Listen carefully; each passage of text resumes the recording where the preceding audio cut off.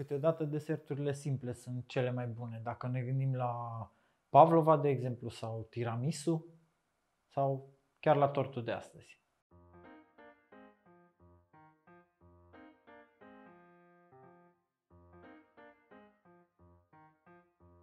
Salut, sunt Robert, bine ați venit pe canalul meu unde facem prăjituri și bem o cafea sau un vin bun. Astăzi o să facem tort uh, forenoir sau tort pădurea neagră. Un tort, uh, cum am zis, simplu, dar foarte, foarte bun. Îi dăm drumul la treabă, ca de obicei în descrierea videoului, chiar sub butonul de like, o să găsiți rețeta. Începem cu blatul, care va fi un blat simplu, un genoaz de cacao. Am pus în bolul unui mixer planetar 4 ouă și 135 de grame de zahăr și le-am uh, amestecat cu un tel, le-am pus pe baie de aburi și le-am încălzit până s-a topit zahărul și o să le pun în mixerul planetar să se mixeze. O să trec rapid prin rețeta blatului pentru că e deja pe canal rețeta, aveți aici link către video ăla dacă vreți să vedeți mai pe larg. Ouăle sunt uh, spumate, puteți vedea cât de groasă este spuma, ce consistență are. Și acum o să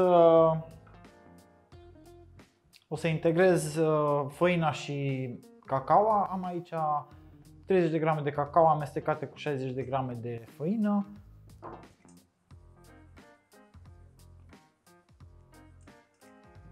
cu mișcări ușoare, de jos în sus și așa mai departe.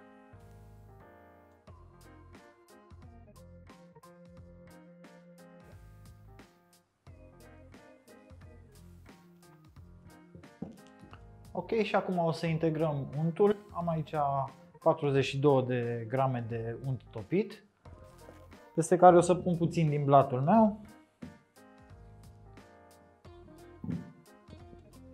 o să omogenizez.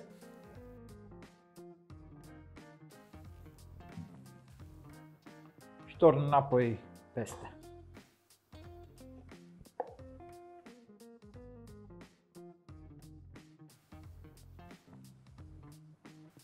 Turnăm toată compoziția într-o formă de 18 cm și o să o dăm la cuptor la 175 de grade, cam 25-30 de minute, sau până o scobitoare iese curată după ce este inserată în blat. Blatul este gata și l-am feliat în trei, uh, în trei felii, dar înainte să ne apucăm de blat, o să facem crema. Într-un bol am pus 200 de grame de mascarpone cu 40 de grame de zahăr pudră și o esență de vanilie folosesc din astea mici de la Dr. Oetker. Și pentru că câteodată mascarponele tinde să fie mai tare, am pus puțin puțin lapte să mă ajute să-l înmoi. Și o să amestec cu un, uh, cu un tel.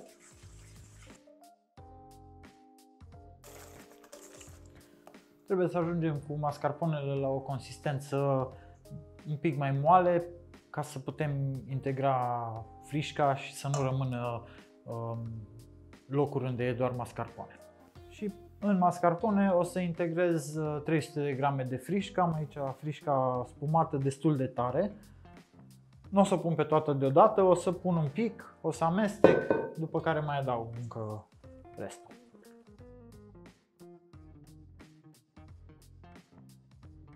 O să vrem o cremă foarte pufoasă și în ideea asta nu o să amestec foarte, foarte mult, doar până când uh, frișca și mascarponele s-au combinat foarte bine.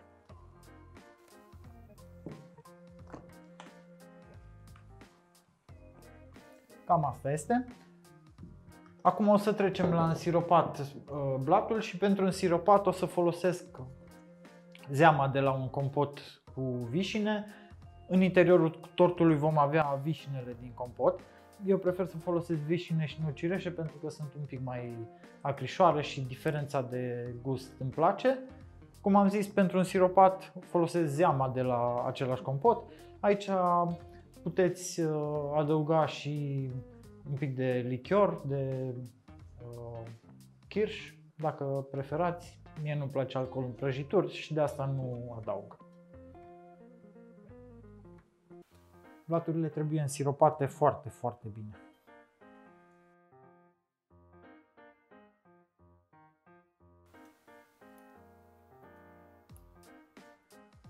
Crema e gata, blaturile sunt gata însiropate, așa că o să trecem la montaj. Punem cam uh, o treime din cremă pe fiecare strat și cu ultima treime vom acoperi tortul și, și deasupra și pe margine. Eu o pun la ochi pentru că nu e chiar atât de important să fie super, super egale uh, straturile. Dacă vreți puteți să cântăriți crema și să puneți fix, fix.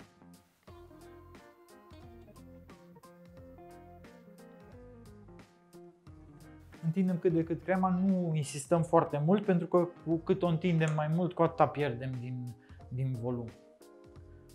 Primul strat de cremă peste care vom pune vișine din compot. Să verificați tot timpul, deși ăsta este un compot pe care scrie că nu are sâmburi, uh, mai găsim sâmburi prin vișine, așa că e bine să verificați, să nu aveți vreun accident.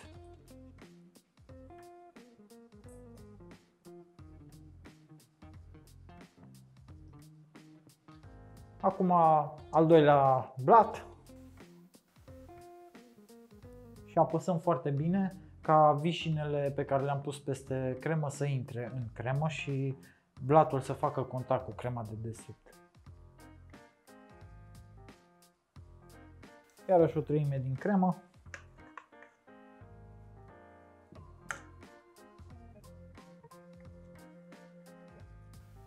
Și iarăși vișine.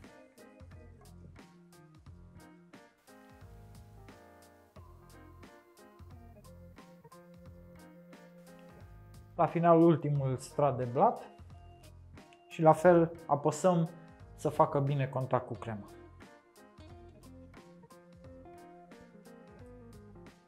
La final uh, decorăm tortul cu restul de cremă, deși pare că a rămas foarte puțină cremă, o să vedeți că vom îmbrăca tortul în uh, așchi de ciocolată și atunci nu trebuie să arate perfect, perfect crema de pe el pentru că așchile vor acoperi complet.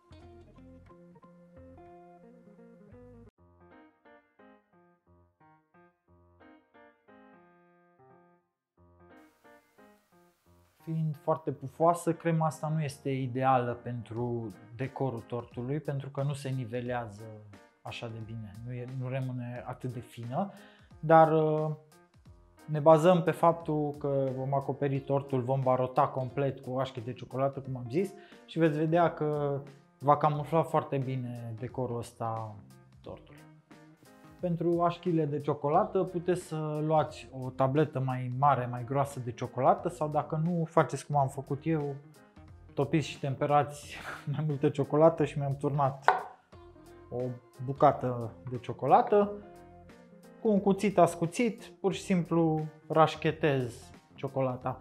Aveți grijă să nu fie foarte, foarte rece, nici foarte, foarte caldă, uh, între așa, ca să avem niște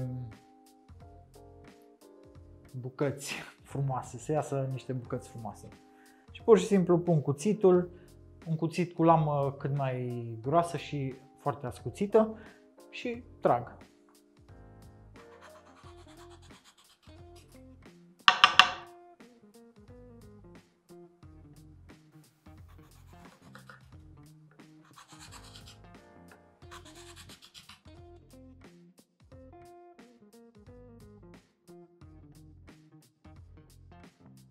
La final o să fac câteva aveline din frișcă și o să pun peste ele cireșe proaspete.